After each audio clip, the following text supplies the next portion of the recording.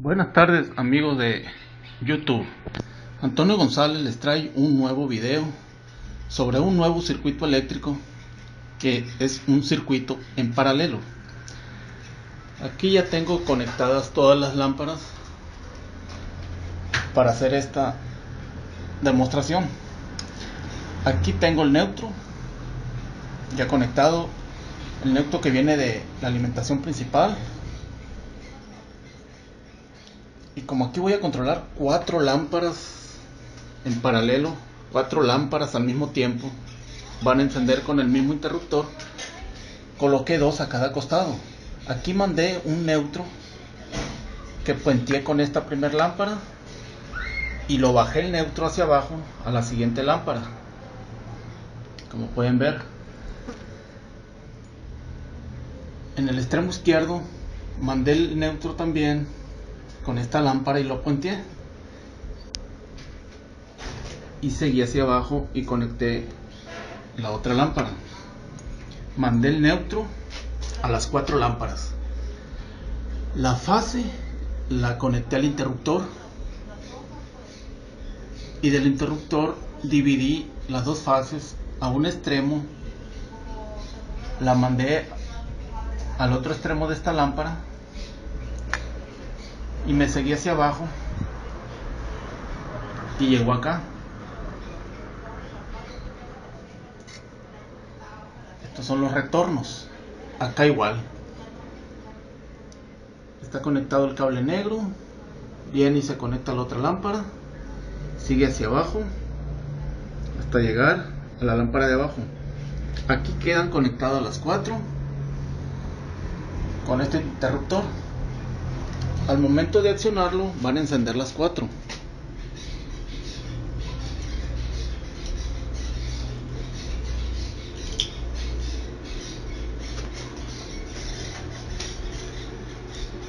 Con la misma intensidad, consumiendo la misma potencia.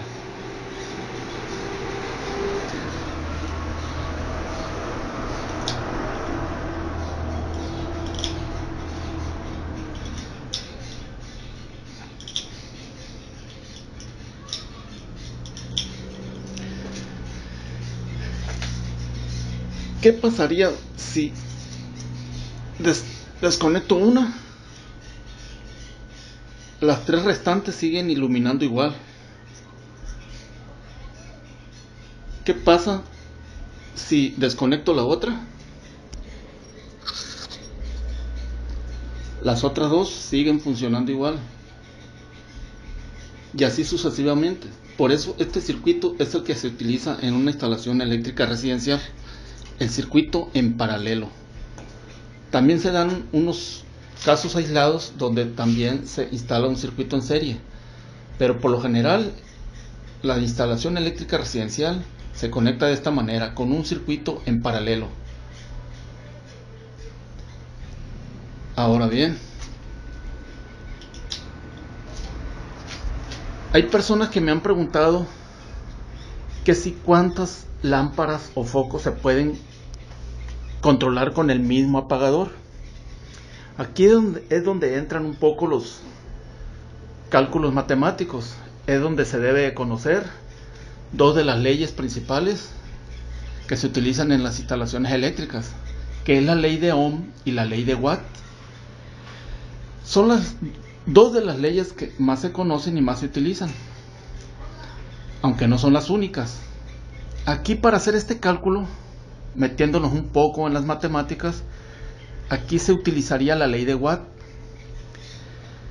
Cada una de estas lámparas consume 60 watts. Utilizando la famosa ley de Watt, si consume 60 watts, demanda medio ampere. Y si tenemos una alimentación de 124 volts, más adelante en otro video mostraré esas leyes para que haya un mejor entendimiento.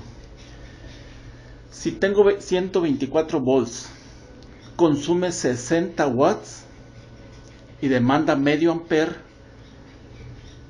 y si el fabricante me dice que este interruptor está fabricado para soportar 15 amperes, cosa que jamás se debe utilizar al máximo. Yo por lo general trato de utilizarlo, utilizarlo en su menor medida o a la mitad para no forzarlo. Supongamos que voy a utilizar 7.5, la mitad de su capacidad. 124 volts, 60 watts de consumo y medio amper. Me daría un total en esta instalación que con ese mismo interruptor podría controlar 15 focos al mismo tiempo. Puedo conectar 15 focos y van a encender con la misma luminosidad. Pero si me voy al máximo del interruptor, puedo conectar 30 focos con la misma capacidad, con 60 watts de consumo.